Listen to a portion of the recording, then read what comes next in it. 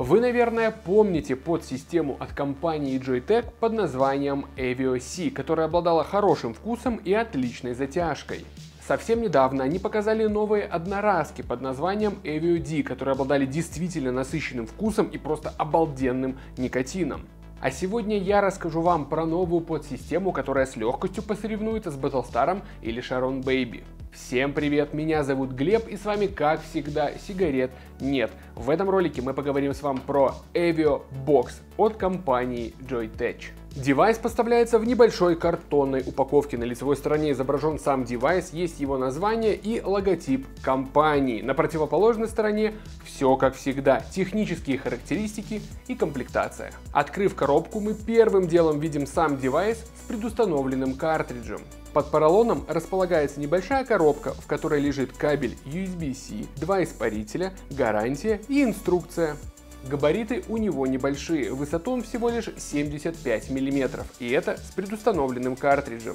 Производитель порадовал нас лишь четырьмя различными расцветками, среди которых встречается белый, черный, синий и бирюзовый. Корпус мода состоит как бы из двух частей. Одна полностью гладкая и глянцевая, а вторая покрыта очень мелкими насечками. Также тут имеется гравировка названия девайса. А боковые грани остались такими же рифлеными, как и у старшего брата Avio C. На корпусе девайса есть всего лишь одна кнопка, но она выполняет сразу несколько действий. Во-первых, она включает и выключает устройство.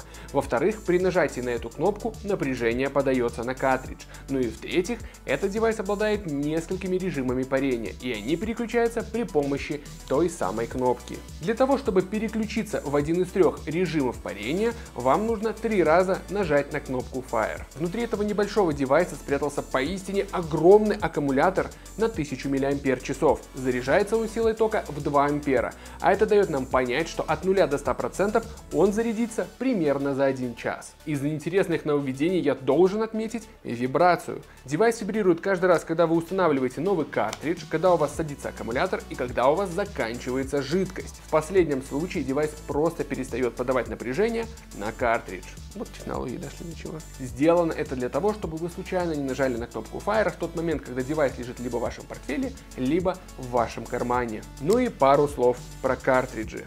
Объем 2 мл. Работает на сменных испарителях с сопротивлением 0,8 и 1,2 Ом.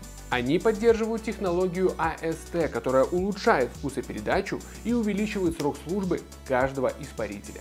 Ну и конечно же не стоит забывать про то, что в данном девайсе есть регулировка обдува. Настраивается она очень просто. Вы снимаете картридж, поворачиваете его на 180 градусов и устанавливаете обратно корпус девайса. В конце ролика смело говорю, что данный девайс подойдет любому пользователю, как начинающему, так и с большим стажем. У него хороший вкус, отличная никотинная передача и довольно приятная затяжка. Спасибо за просмотр, с вами был Глеб и сигарет нет, и до встречи на нашем канале.